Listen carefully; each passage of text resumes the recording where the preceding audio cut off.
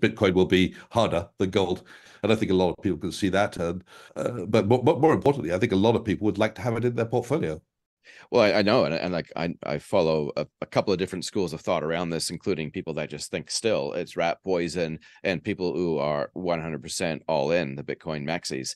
You've come up with a pretty rational um, framework for for an allocation. I'll let you maybe share what that is, and and obviously this isn't investment advice, but if if it was you, what would what would you do if you had say a, a 30 year investment um, time frame ahead of you, and you were trying to allocate across all the asset classes that were appropriate for you, of course, but you wanted to include Bitcoin. How much Bitcoin would you include in your portfolio?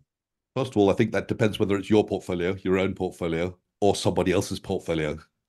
Um, so I think what I'll do, I'll speak to start with with my lifetime career of an asset allocator's hat.